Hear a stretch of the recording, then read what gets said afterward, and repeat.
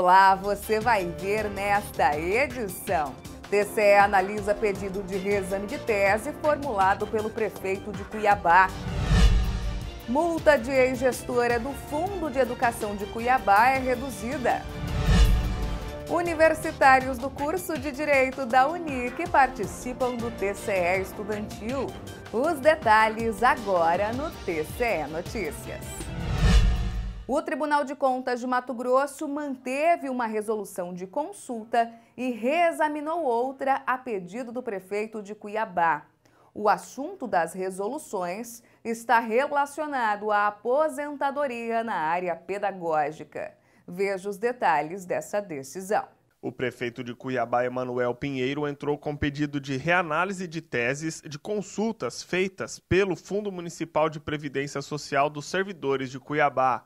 As duas consultas foram sobre a concessão de aposentadoria especial em razão do exercício em funções de magistério e a regulamentação da matéria quanto aos professores em readaptação funcional. O prefeito alegou que essas resoluções de consultas estão em desconformidade com o entendimento do Supremo Tribunal Federal e que não encontrou amparo nas decisões.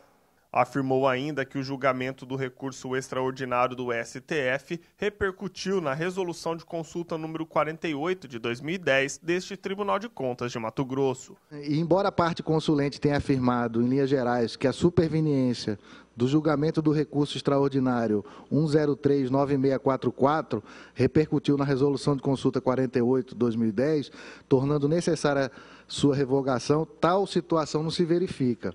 Da análise do acordo exarado no mencionado recurso, relatoria do ministro Alexandre de Moraes, concluiu-se naquela oportunidade que o STF reafirmou sua jurisprudência, a qual foi encampada por esta Corte quando da aprovação da referida resolução de consulta.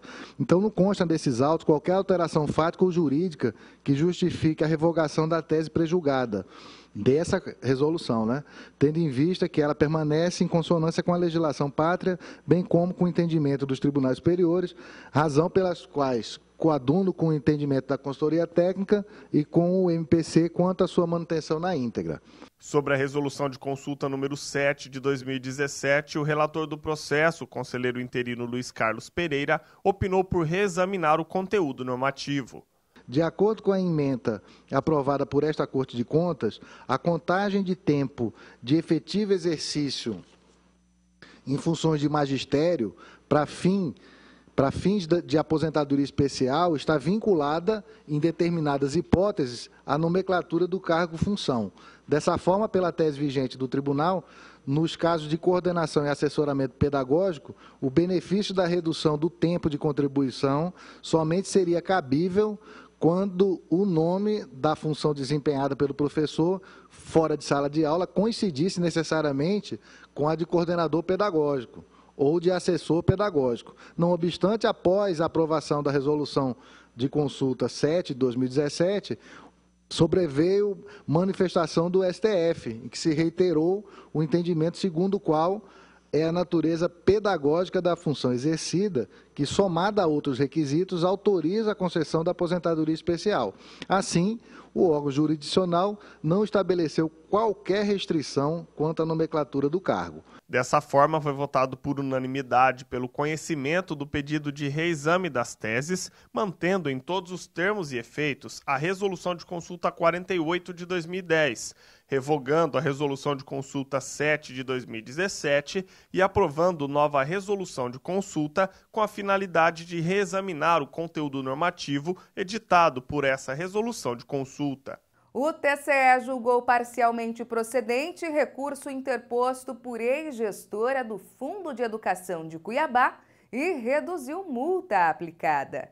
Veja os detalhes. Esse recurso de agravo foi interposto pela ex-gestora do Fundo Único de Educação de Cuiabá, Marioneide Angélica, com o objetivo de alterar o julgamento de uma representação de natureza interna de 2017 julgada parcialmente procedente, com aplicação de multa no valor total de 14,40 PFs por conta do atraso no envio de documentos e informações de remessa obrigatória ao Tribunal de Contas via sistema GeoObras. Segundo a ex-gestora, não existe razão para aplicação das multas, pois não houve má-fé ou dolo nos atos considerados irregulares, uma vez que os documentos foram enviados depois pela responsável. Mas o relator do processo, o conselheiro substituto Luiz Carlos Pereira, nos termos da norma regimental, lembrou que as multas só seriam dispensadas caso os envios fossem feitos dentro de 90 dias após a publicação da Resolução Normativa 33 de 2016.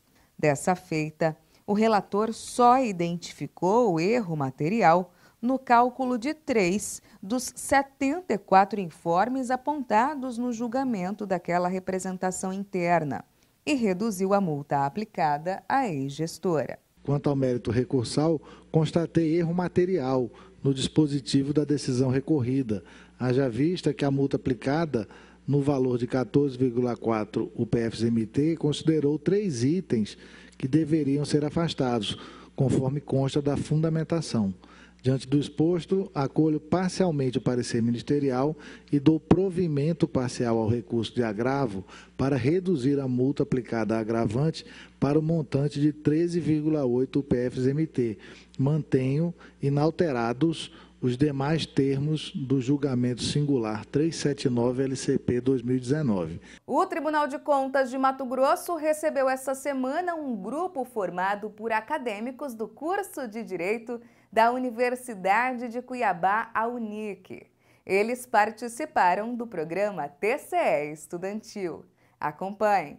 Cerca de 150 acadêmicos do curso de Direito estiveram presentes em uma visita monitorada no Tribunal de Contas de Mato Grosso, acompanhando as atividades da Corte de Contas e tendo na prática uma aula extra de como funciona uma sessão plenária e as atividades realizadas por um órgão de controle externo. Acadêmicos do nono e décimo semestre do curso de Direito da Universidade de Cuiabá, a UNIC do campus Beira Rio, participaram do programa TCE Estudantil, promovido pelo Tribunal de Contas de Mato Grosso. O objetivo do programa é formar jovens conscientes e sabedores dos seus direitos e deveres em relação à cidadania.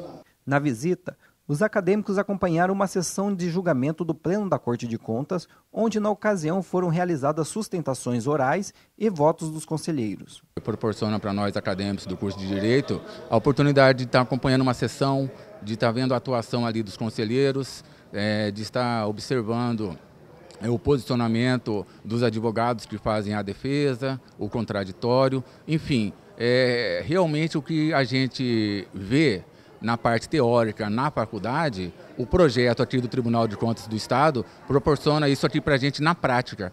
Além de presenciar a sessão plenária, os acadêmicos tiveram uma palestra sobre a importância do TCE para a sociedade, a estrutura e o funcionamento, as ferramentas de transparência e participação direta dos cidadãos na fiscalização dos recursos, serviços e políticas públicas. Para mim foi de suma importância é, para o meu curso de Direito é, vir ao tribunal hoje, está tendo essa experiência.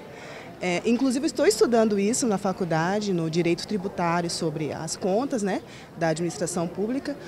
E o Tribunal de Contas, é, ele, ele funciona na gestão né, do controle do, do nosso dinheiro, para onde vai o nosso dinheiro. Nesse atual momento que a gente vive, né, onde existem N situações com relação aos recursos, para a gente saber ter certeza para onde vai esses recursos é muito importante. Né? O secretário da SESEX Administração Municipal do TCE, Francis Ney Liberato, ressaltou a importância do programa TCE Estudantil principalmente na colaboração à sociedade, quando recebe futuros profissionais de direito que estarão atuando em órgãos públicos. A importância de conhecer o Tribunal de Contas é que você vai conhecer essa instituição e vai, quem sabe, ajudar-nos na fiscalização, ser um auditor social. Você pode, dentro da sua comunidade, da sua rua, do seu bairro, da sua escola, ajudar a denunciar coisas erradas que alguns gestores estão fazendo. Então esse é o papel para que desperte em cada um de nós essa vontade de fiscalizar os recursos públicos, porque o poder emana do povo. O poder é nosso, o recurso é nosso e nós contribuímos por ele. Essa edição do TCE Notícias fica por aqui. Para saber mais sobre o que acontece no Tribunal de Contas de Mato Grosso, Basta acessar o nosso portal no endereço que você já sabe, o www.tce.mt.gov.br. E também, claro, o nosso canal no YouTube em TCE Mato Grosso. Para você, um excelente final de semana e até mais!